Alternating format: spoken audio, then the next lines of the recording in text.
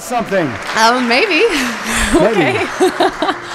Today is an awesome day. Oh my goodness. For the last um, 40 days, we have been doing a huge campaign because we are building something massive. It's called Celtic Avalon. I have wanted to do this for a long, long, long time.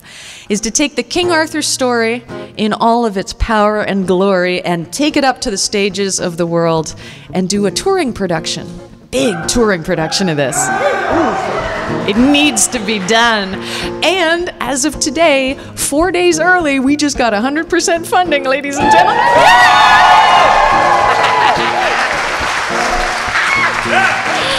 Oh. I am a happy girl, let me tell you. And and I was so I was so happy when it happened. Um, luckily, Ben had his camera with him. You can see me uh, on our website heatherdale.com or on YouTube, jumping into a night. Well, I think they said it was about a 58 degree swimming pool, out of pure joy. And it's it's on YouTube, so you know I can't deny it at this point. i like to think that it's because I'm Canadian and I'm like, oh, 58 degrees, pshaw, but it was damn cold. See above, re antifreeze. Uh, but totally worth it. The thing about uh, these crowdfunding things is that once you hit your target and you've still got a couple of days left, you have to come up with a stretch goal. Yeah. So we've been working on stretch goals.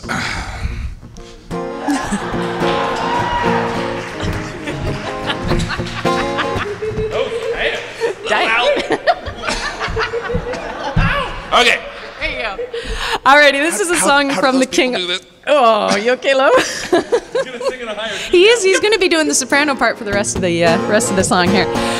This is a King Arthur song about the wild child of Camelot. I love him. His name is Sir Gawain. Gawain was a pagan boy from the north. He was a prince of his own lands, but he gave it all up to come and be one of Arthur's knights. Now, one day into Camelot, the doors opened, and who should stride into that hallowed hall but the Green Man himself? Green from the crest of his hair all the way down to his feet, and most importantly, the double headed green battle axe that he carried.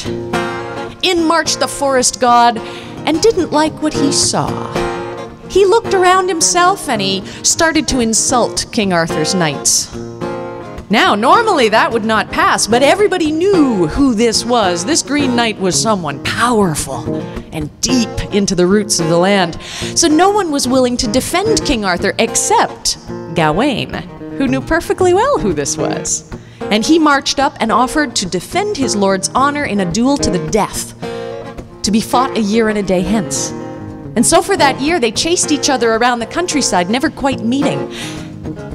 Gawain met trial after trial and temptation after temptation, and he overcame them all. And for the rest of his life, Gawain wore a green belt or a green sash to remind himself of what he learned about faith and loyalty. New Year's Day, dawning wet on Britain's shore. King's Hall roused by a pounding on the door. A giant knight dressed in green, never seen before, hefts an axe and holds it high and lets a challenge roar. You craven men may fear dishonor, but you fear my vengeance more. For that spear that chills you like a wraith, and it's doubt you gird about your waist. It's fair the man will hold to faith and face me in the morning.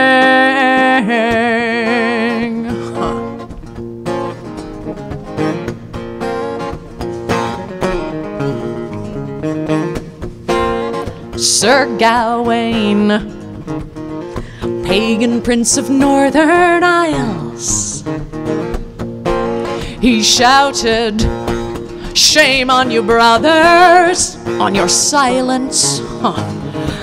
He took the axe and struck his blow and brought the giant low. He raised his head and held it high and met the giant's eye and cried, I'll meet your vengeance in a year. We'll see who'll die, you or I. For that spear that chills you like a wraith and it's doubt you gird about your waist. It's rare the man who'll hold to faith and face me in the morning.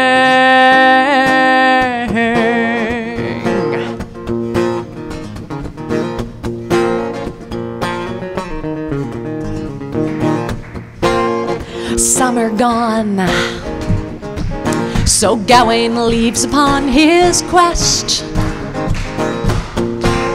with a five point star, sign of faith upon his chest. He seeks his foe, travels west, not knowing where to go. There's no clue until a baroness has offered aid to show, but only if he stays as guest within her bower three days, no less. That's fear that chills you like a wraith and it's doubt you gird about your waist. It's rare the man who'll hold to faith and face me in the morning.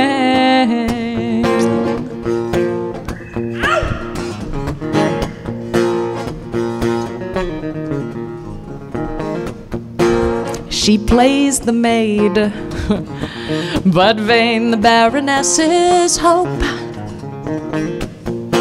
For Gawain's not swayed, another lady holds his oath. She offers body, offers land, but each advance is spurned. So she puts a belt into his hand, a gift of magic earned by constancy in face of all temptation to his given word. Now that's fear that chilled you like a wraith. But this is hope you gird about your waist. It's rare the man who'll hold to faith me in the morning.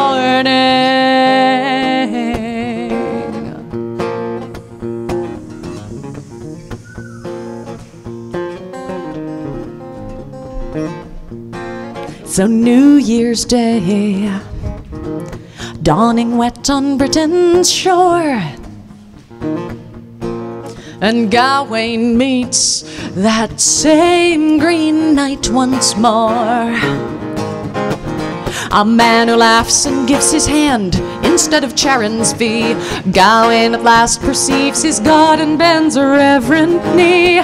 Take and wear my lady's belt, the green man gladly cries. See to it you serve us well in all the paths of life.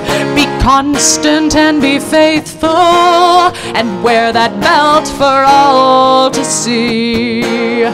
That a man came here for justice, here blessed by me. He left here blessed by me. Left here blessed by me. You left here blessed by me.